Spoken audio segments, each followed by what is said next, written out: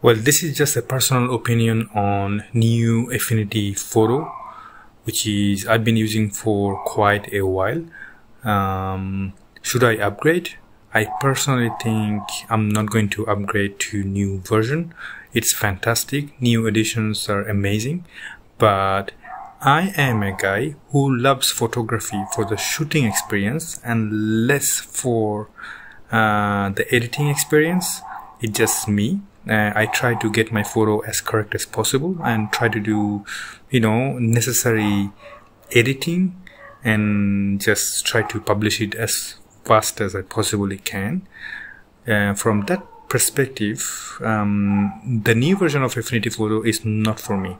And then new luminosity mask, also the hue based luminosity mask, uh, are fantastic, amazing but it's actually possible with the older version. Uh, the new version just made it a lot easier, let's be honest. So the new Affinity Photo is fantastic. It got everything right, but I think I can live without it. So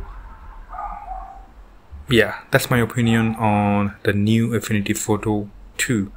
But my sincere uh, good wish to the company. They're doing a fantastic job for those who are moving from Adobe Photoshop to Affinity because you don't need to pay a subscription and I love it.